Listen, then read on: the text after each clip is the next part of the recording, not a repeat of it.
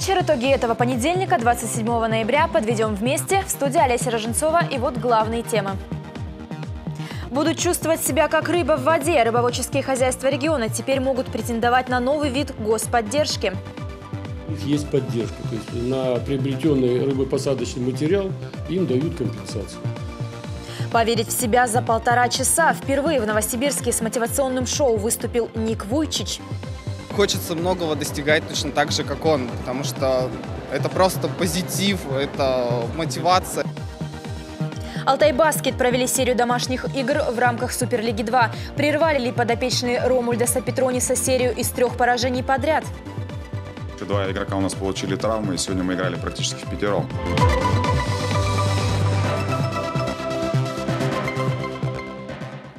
Теперь будут чувствовать себя как рыба в воде. Новый вид господдержки скоро смогут получать рыбоводческие хозяйства региона.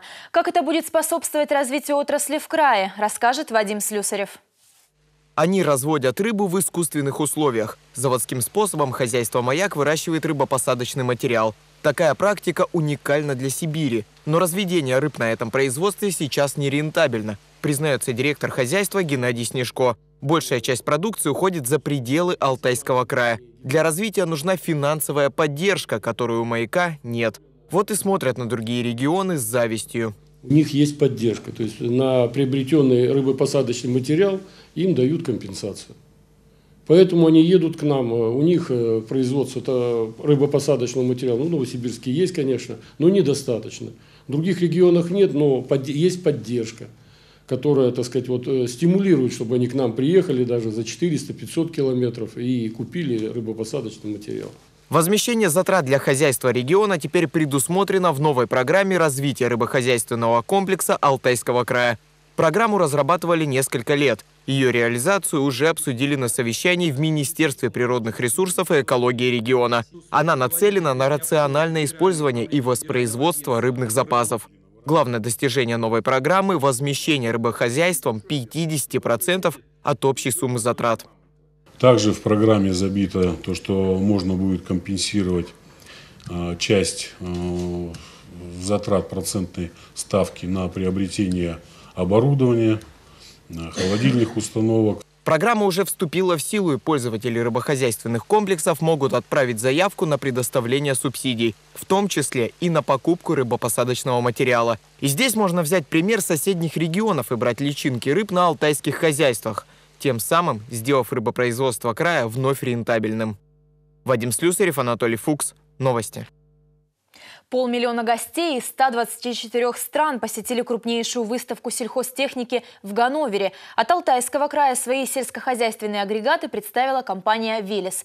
О том, как прошла выставка и каких результатов достигли алтайские производители, расскажет Дмитрий Будков.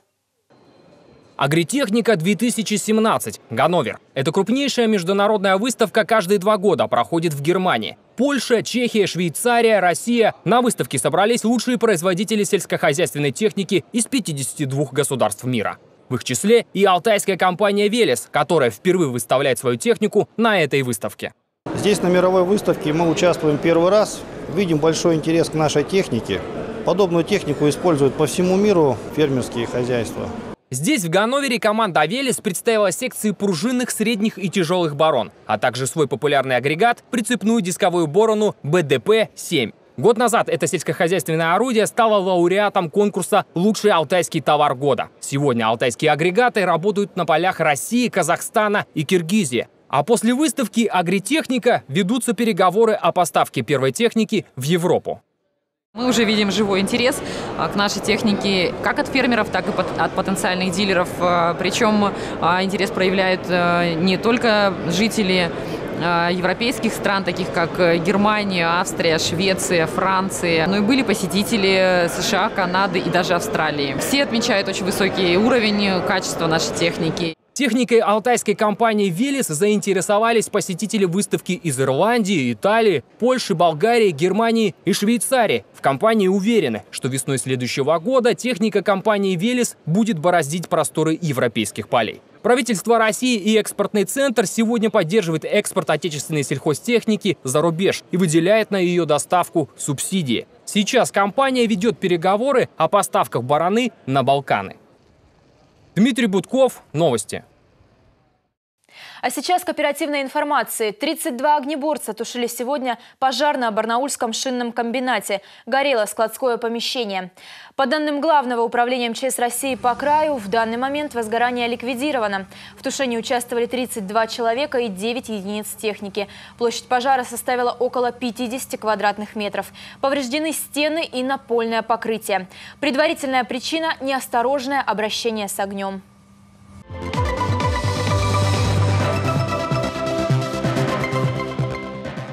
Итоги краевого губернаторского марафона «Поддержим ребенка» подведут в Алтайском крае. В этом году в рамках акции собрали рекордную сумму.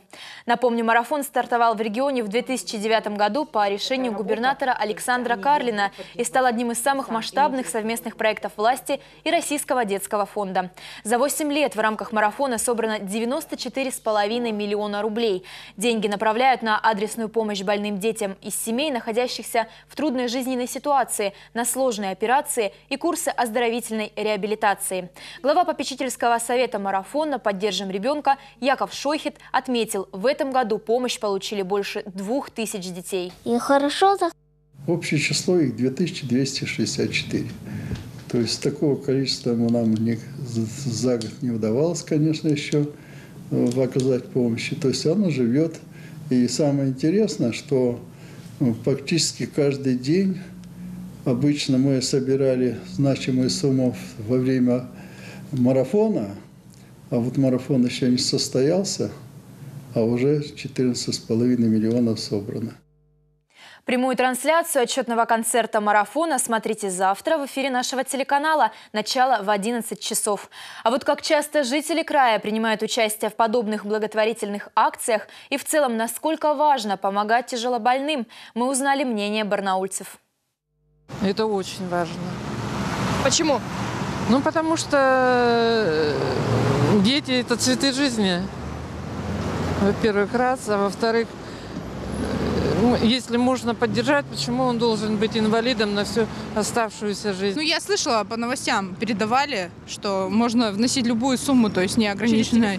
Да, либо через телефон, либо через э, там карты или что счета. Сами принимали в нем участие? Раз принимала, э, но это была моя знакомая. Сбор денег для детей с помощью народа, как бы это актуально, потому что люди у всех, у каждого сердце есть частичка добра, поэтому добро побеждает зло, поэтому даже если кто там, как говорится, смс пришлет с 10 рублями, это будет большая помощь. Поэтому пускай дети будут все здоровы. Людей воспитывает к доброте, что они становятся добрее. Дети наше будущее. Как мы будем себя вести, так и дети будут в будущем расти и такими же добрыми должны быть. Это всегда важно, помогать детям. Тем более, когда у них нет э, людей, которые рядом могут за них ответственность нести. Почему бы нам, всем остальным, не помочь им? В городе профессии Кидвель прошла экскурсия для детей с ограниченными возможностями здоровья из школы-интерната номер 6. Чему научились дети, узнала Анжелика Келлер. Третий может строить дороги, правильно? Сегодня мы с вами будем строителями каменщиками. Все по-взрослому. Малыши под руководством наставников выкладывают стену. Задача несложная, но ответственная. Работать приходится по схеме, главное – не ошибиться. Но детям нравится. Например, Ярослав Веряскин обещал, когда вырастет, построит новые школы и дома. Я строил дом. А ты бы хотел быть строителем? Да. А что бы ты тогда построил? Э, ну, дом или что-нибудь другое. Другие мечтают работать в полиции, но где еще, как не в городе профессий, покажут, как правильно снимать отпечатки пальцев и почему не бывает двух одинаковых узоров? В такой игровой форме для них намного проще будет узнать про эту профессию. Для них интересно а, в такой форме пробовать через игру, то есть и узнавать, что они могут делать, к чему у них предпочтения есть. То есть они уже будут сейчас а, думать о своем будущем, чем бы они хотели заниматься дальше. Его выращивать сначала надо землю немножко насыпать, а потом уже зернышки класть немножко. Чем полезна облепиха и как вырастить овес? И на эти вопросы в теплице города профессий Кидвель Дети получили ответы. Даже больше они сами смогли посадить растения. Очень полезно, потому что наши дети всегда мечтают быть почтальонами, строителями, парикмахерами. Здесь есть такая возможность попробовать это все. А также дети узнали, как работает почтальон и написали настоящее письмо. Кто любимой маме, а кто-то Деду Морозу. И загадал желание. Тем более до Нового года осталось совсем немного. Анжелика Келлер, Роман Хайрулин. Новости.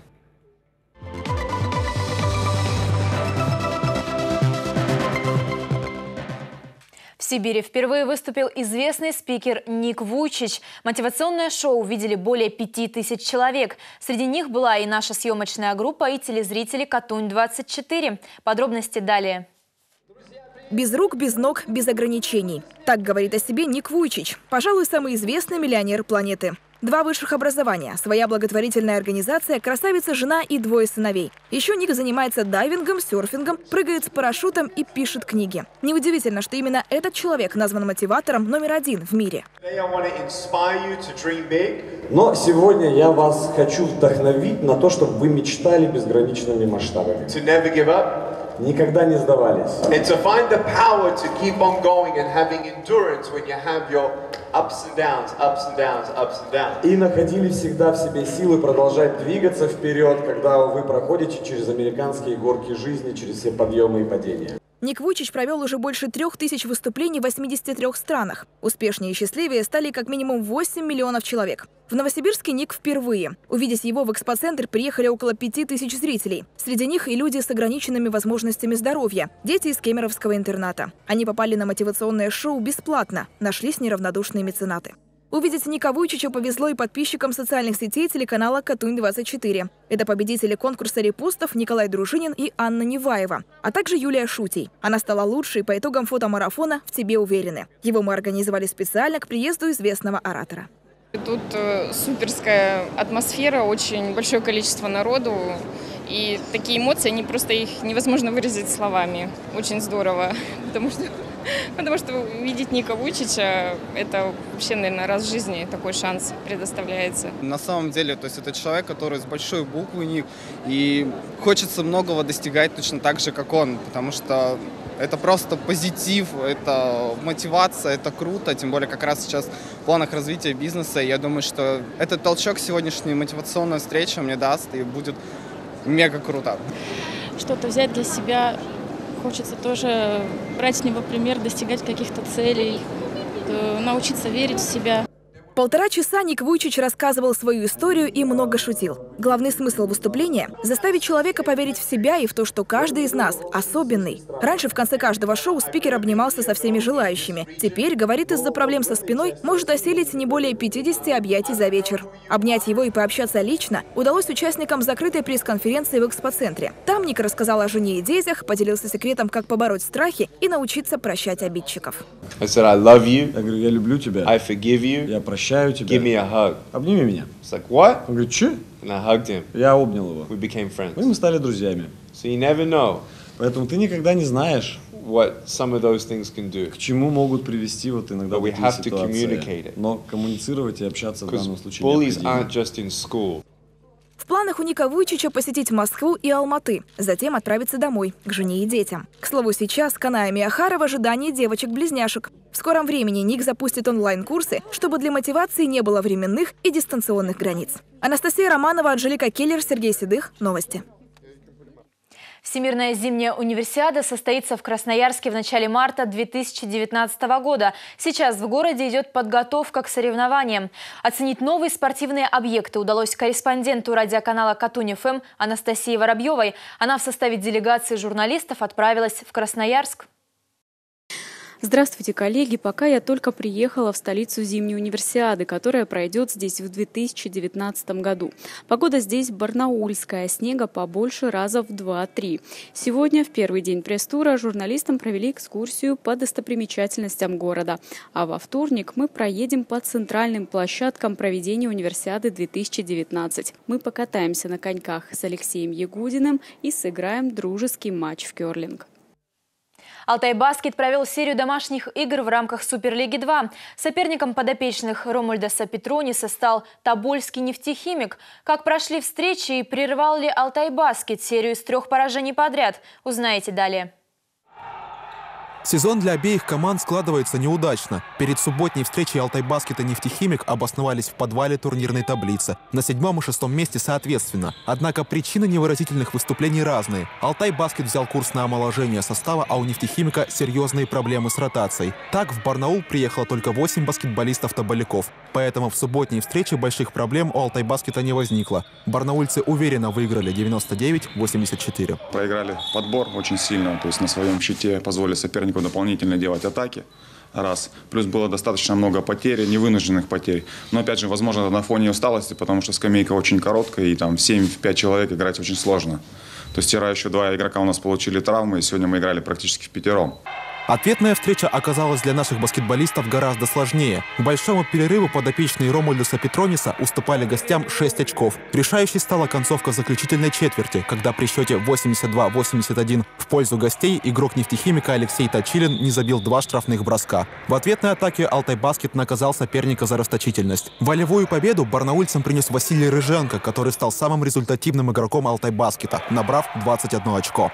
Вчера мы сразу были мобильный, э, полны желания. Сегодня было с этим похоже. Возможно, уступила бдительность то, что у них два игрока травмировались. Думали, будет прогулка. Но, опять же, э, заострили на этом внимание. Концовка показала, что у нас кое-что на месте все-таки. Играми с нефтехимиком Алтай Баскет завершил первый круг Суперлиги 2. Благодаря двум победам в серии барнаульцы поднялись с последней строчки турнирной таблицы и начнут второй круг в хорошем настроении 15 декабря домашними играми с Магнитогорским «Динамо». Владислав Кириенко, Дмитрий Гладких, Роман Хайрулин. Новости. Больше новостей о жизни Алтайского края на сайте катунь24.ру. Хорошего вечера!